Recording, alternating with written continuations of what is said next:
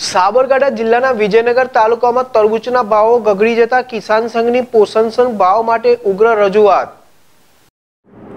વિજયનગર તાલુકાના ધોરીવાવ ખોડાસણ આંતરી ગુલાબપુરા સહિતના વિજયનગર તાલુકામાં વધતા જતા તરબૂચના વાવેતર બાદ આ વર્ષે ભાવો ગગડી જતા અને પાણીના મોલે તરબૂચની લેવાલી આવતા હતાશ થયેલા ખેડૂતો વતી ભારતીય કિસાન સંઘ વિજયનગર દ્વારા પોષણક્ષમ ભાવ માટે સરકારમાં ઉગ્ર રજૂઆત કરવામાં આવી છે. એટલું જ નહીં, બલકે હાલ બજાર ભાવ ઘટીને એક મણના રૂપિયા એંસીથી નેવું લઈ જતા ખેડૂતો તડબૂજ ઢોરને ખવડાવી દેવા મજબૂર બન્યા છે. કિસાન સંઘ વિજયનગર તાલુકા પ્રમુખ પટેલ જયંતિભાઈ મેઘજીભાઈએ સરકાર સમક્ષ કરેલી રજૂઆત મુજબ ચાલુ વર્ષે બટાકામાં ખેડૂતોને નુકસાની આવી છે. ત્યારબાદ ખેડૂતોને એવું થયું કે તરબૂચ વાવીને ચાર પૈસા કમાવીશું. ત્યારે તરબૂચ બહોળા પ્રમાણમાં વાવેતર કર્યું. ઘણા ઉત્સાહથી આ ખેતી કરી, પણ સતત વાદળછાયું વાતાવરણ રહેતા રોગનો ઉપદ્રવ આવી ગયો છે, જેથી ખેડૂતોને દવાનો ખર્ચ વધી ગયા અને ઉત્પાદનમાં ઘટાડો નોંધાયો. જેને લઈને તરબૂચ પકવતા ખેડૂતોને પોષણક્ષમ ભાવો માટે સરકારને અનુરોધ કર્યો છે. તરબૂચનું જ્યારે ઉત્પાદન ઘટ્યું છે, ત્યારે વેપારીઓની સાંઠગાંઠના કારણે ભાવ પણ બિલકુલ મળતા નથી. અત્યારે વીસ કિલોના એંસી નેવું સો રૂપિયા જેવું મામૂલી ભારે વેપારી લઈ જાય છે. તેમાં પણ સારો સારો માલ લઈ જઈ જતા રહ્યા અને પચાસ ટકા માલ છોડી દીધો. એ ઢોરને ખવડાવવું પડે એવી સ્થિતિ આવી છે. કિસાન સંઘના પ્રમુખે વધુમાં જણાવ્યું કે આ સંજોગોમાં સરકારે ભવિષ્યમાં આ માલનો નિકાલ કેવી રીતે કરવો તેનું આયોજન મક્કમતાથી કરવા ઉગ્ર માંગ છે. ખેડૂત પકવી તો શકશે, પણ માર્કેટની વ્યવસ્થામાં ઠેકાણું ન હોવાથી ખેડૂત બરબાદ થઈ રહ્યો છે અને ગામડા છોડી રહ્યો છે. એના માટે સરકાર ગંભીર વિચાર કરવો જોઈએ. તરબૂચનું વાવેતર.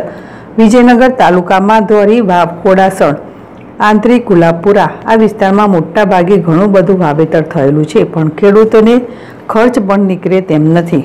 અને ત્યારબાદ થઈ જવાના આરે ઊભા છે.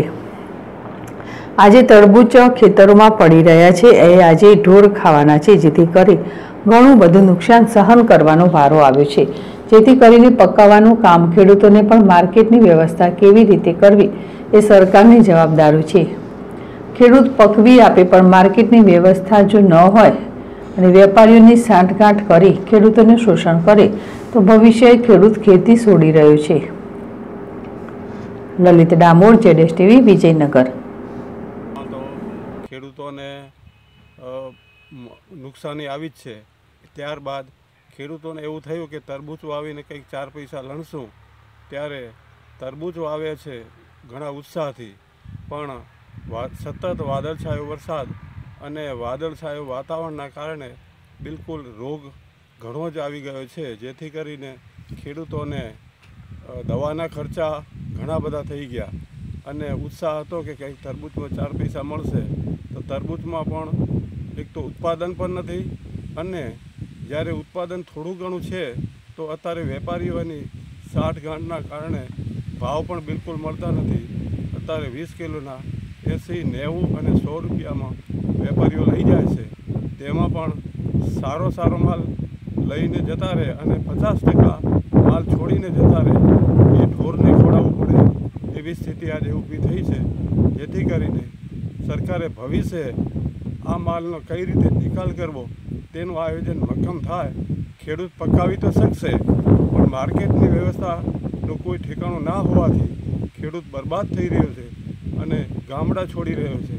એના માટે સરકારે ગંભીર વિચાર કરવો જોઈએ. કયા કયા વિસ્તારમાં તરબૂચનું વાવેતર કરેલું છે? તો અત્યારે વિજયનગર તાલુકામાં ધોળીવાવ ખેડારસણ માંત્રી ગુલાબપુરા આ વિસ્તારમાં મોટાભાગે ઘણું બધું વાવેતર તરબૂચનું થયેલું છે પણ ખેડૂતોને ખર્ચ પૂરો મળવાનો નથી અને બરબાદ થઈ જવાના છે.